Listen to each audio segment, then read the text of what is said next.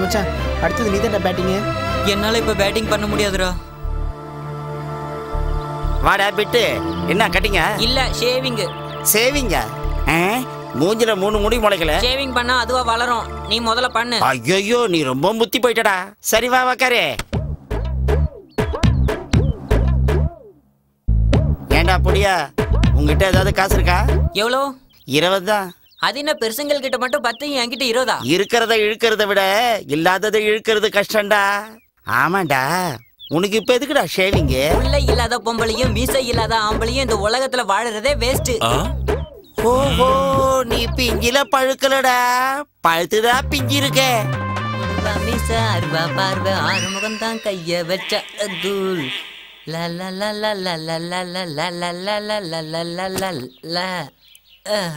அம்மா குளிக்கிறதுக்கு வெந்நீர் கொடுங்கம்மா. எங்க இருந்துடா வர்ற?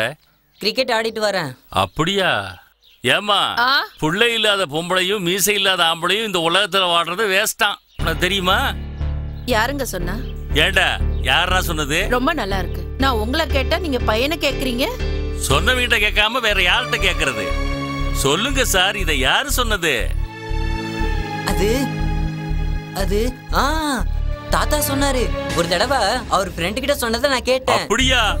வளர்றதுக்கு முன்னாடியே மூஞ்ச சரிச்சுக்கிறோம்னு உங்க தாத்தா சொன்னாரா? உன்ன? முளைச்சு மூணு இலை விடல ஒண்ணு. டேய், பே- எனக்கு அடடா, எனக்கு விடுங்க. இனிமே எனக்கு இனிமே சொன்னா இந்த மாதிரி கேளுங்க. பண்ணுவியா? என்னங்க இது? உன் பையன் பெரிய ஆளு மாதிரி சவர கடையில போய் சேவிங் பண்ணிட்டு வர்றான். ஏதோ தெரியாம பண்ணிருப்பான். தெரியாமலாம் இல்லடி வேணும்லாம் பண்ணிட்டு. இனிமே இந்த மாதிரி தேவையில்லாத விஷயம் எல்லாம் பண்ணிட்டு வந்தனு வையே. உன்னை மொட்டை அடிச்சு உள்ள உட்கார வச்சிருவேன். எல்லாம் விவசாயத்தை முடிச்சிட்டு வீட்டுக்கு போயிட்டாங்க போல இருக்கு. ஆமாண்ணே. ஏண்டா கைப்புள்ள? என்னண்ணே? வயலுக்கு மத்தியில இருக்கிற அந்த வைக்கோல் மஞ்சத்தை பார்த்தா உனக்கு என்னடா தோணுது?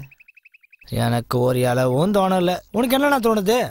நல்ல நிலா வெளிச்சத்துல அந்த மஞ்சம் மேல மங்காவோட சரசம் பண்ணணும்னு தோணுதுடா. பண்ணிட்டாலும் அரை செஞ்சுரி அடிச்சதுக்கு அப்புறம் இதெல்லாம் தேவையா? பாவனா அந்த மங்கா. என்னடா ரொம்ப சீப்பா எடை போடுற? மங்கானா யாரு? யாரு? ரம்பா உருசி மேனகா திலோத்தமா இவங்க நாலு பேரையும் ஒரு பாட்டில்ல போட்டு அப்படியே கலக்கி வெளியே எடுத்தா? எடுத்தா? அது மங்கா. நான் சொன்னது உண்மை மங்காவில்ல நீங்க வர வர மங்கா கிட்ட ரொம்ப மயங்கிட்டீங்க போல இருக்கு. ஆமாண்டா. இப்ப இன்னும் அந்த மங்காவை பத்தி நினைச்சாலே மனசுக்குள்ள லக லக லக லக லக லகன்னு என்னமோ நடக்குது.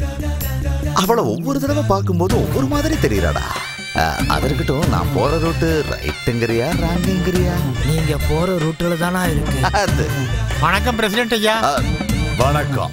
நாலு நாளைக்கு முன்னாடி எங்க ஐயா செத்துப்புட்டாருயா வந்து அவனை புடக்கி வைக்கணுங்கிறியா? அது இல்லையா வேற என்ன சொல்லு?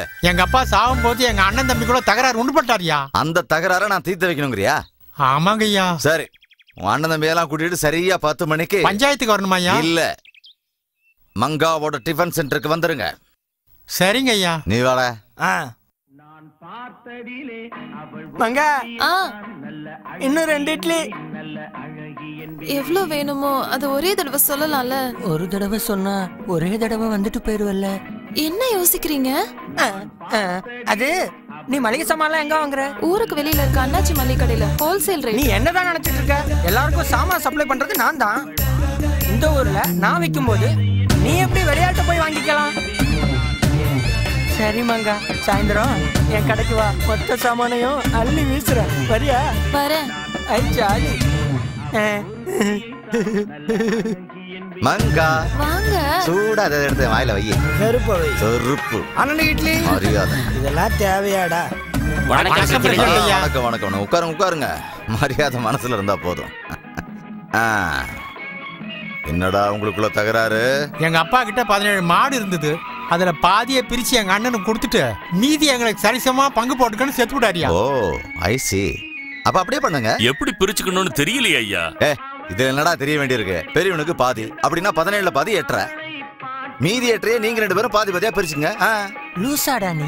ஐயா அதை எப்படி பிரிச்சுக்கிறதுன்னு சொல்லுங்க ஐயா. இதனையா கேள்வி. பெரியவனுக்கு ஏழை கொடுத்துட்டு நீங்க ரெண்டு பேரும் அஞ்சு அஞ்சா எடுத்துங்க அப்படி எடுத்துக்கிட்டா எங்க ஐயா வார்த்தைக்கு மரியாதை இல்லாம போயிடுயா? ஓ அப்போ ஒரு வேலை செய்யுங்க. ஒரு மாட்டை வித்துட்டு மீதியை பங்கு போட்டு எடுத்துங்க அது எங்க குலதெய்வம் ஐயா. விக்க முடியாது. அப்புறம் எப்படிடா பிரிப்பீங்க? அது தெரியாம தானே உங்ககிட்ட வந்தோம். நான் சொல்லட்டுமா? என்ன? நீ சொல்றியா? வா வந்து சொல்லு. சட்னி எடுத்து வை. சரிம்மா. பேப்பரை வரீங்க. ஆ, நீ சொன்னா எதை வேணாலும் விரிப்பேன்.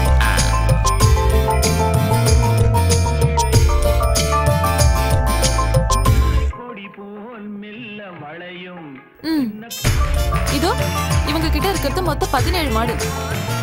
இது என்னோடது. அப்போ பதினெட்டு மாடு இருக்கு. இவங்களோட அப்பா சொன்ன மாதிரி பெரிய பையனுக்கு எத்தனை? அதுல பாதி. அப்போ ஒன்பது இது எப்படி செல்லும்? உன்னோட மாடு ஒண்ணு இருக்கு. என்னதை? நானே எடுத்துக்கிறேன். இப்போ எத்தனை இருக்கு? எட்டு மாடு. ரெண்டு பேரும் நாலு நாலுன்னு பிரிச்சுக்க வேண்டியதுதான்.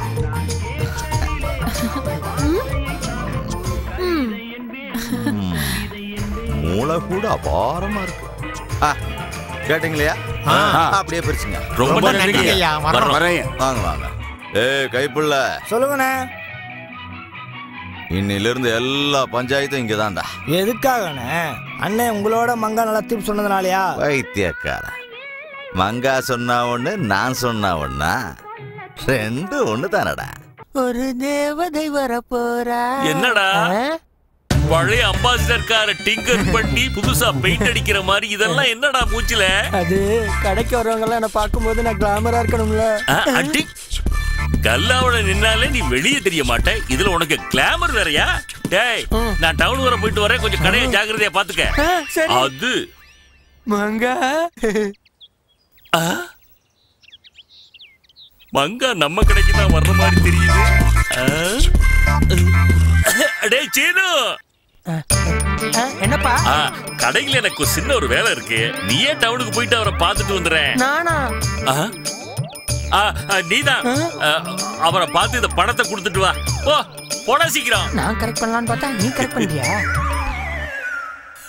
வா மங்கா வா என்னடா வேணும்? ஆ. ஆ, ஆ, குடு. இந்த சாமான்லாம் கொடுங்க. சாமான் லிஸ்ட் ரொம்ப குளுகுளுன்னு இருக்கு. இத காய வைக்க கூடாது. அது என்ன? ஊர்ல உள்ளவங்களுக்கு நான் இத வைப்பேன். உனக்கு மட்டும் விசேஷமா வைப்பேன். நீ யாரு? உனக்கு நான் மோசம் பண்ணுவனா? என்னங்க? பொண்ணு வந்து கேட்டதுக்கு மளிகை சாமான் கொடுக்க மாட்டேனீங்களாமே ஆமா நீ வந்து கேட்டாலும் கொடுக்க மாட்டேன். நீங்க வரும்போதெல்லாம் மளிகை சாமான் அள்ளி அள்ளி கொடுத்தா நான் முக்காட போட்டு போக வேண்டியதுதான். அது இல்ல பணம் வந்த உடனே கொடுத்துடுறேன். ஆ நீ கொடுப்ப. பணம் எங்க இருந்து வரும்? ம் கேக்குறப்பெல்லாம் கொடுக்கற கடனும் கடல்ல போடுற கல்லும் திரும்பி வராதம்மா. போய் வேலையை பாரும்மா. அ- அது இல்லைங்க. என்ன இல்லைங்க? போம்மா உனக்கு கொடுக்கறதுக்கா நான் இங்க உட்காந்துருக்கேன்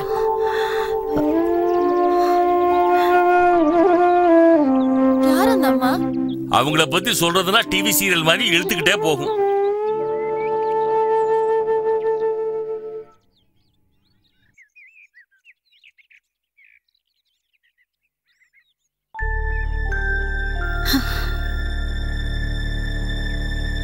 பார்வதி அம்மா? பார்வதி அம்மா?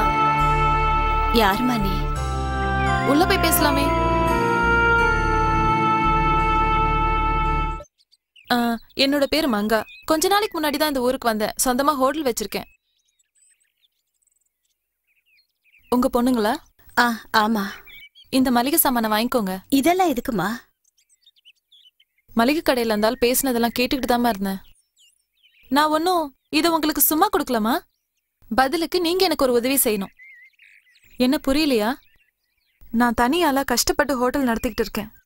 அதனால நீங்க வீட்லயே மாவரிச்சு கொடுத்து என் வேலையை கொஞ்சம் ஒத்தாசையா இருந்தீங்கன்னா நம்ம ரெண்டு பேருக்குமே உதவியா இருக்கும்ல. கடனை வாங்கி அவமானப்படுறதை விட இந்த வேலையை செய்யறதுல எந்த தப்பும் இல்லையேம்மா. இந்த ஊர்ல இருக்கவங்களும் உங்க மேல பாவம் பார்த்து பரிதாபப்படுவாங்களே தவிர எந்த உதவியும் செய்ய மாட்டாங்க. எனக்குன்னு யாருமே கிடையாது. உங்களை நான் என்னோட அம்மாவை தான் பார்க்குறேன். நீங்களும் என்ன உங்க பொண்ணாவே நினைச்சுக்கோங்க. வாங்கிக்கோங்கம்மா. இந்தாங்க.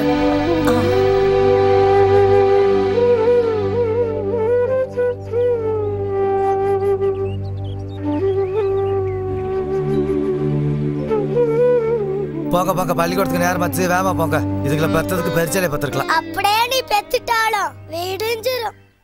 யோ இன்னைக்கு எந்த ஊருக்கு வேலைக்கு போற? போடுவார் விட்டிக்கிட்டேன் அழுத்தம்பட்டியில திருவிழா நடக்கிறப்ப போடுவரப்பட்டிக்கு எதுக்கு போற?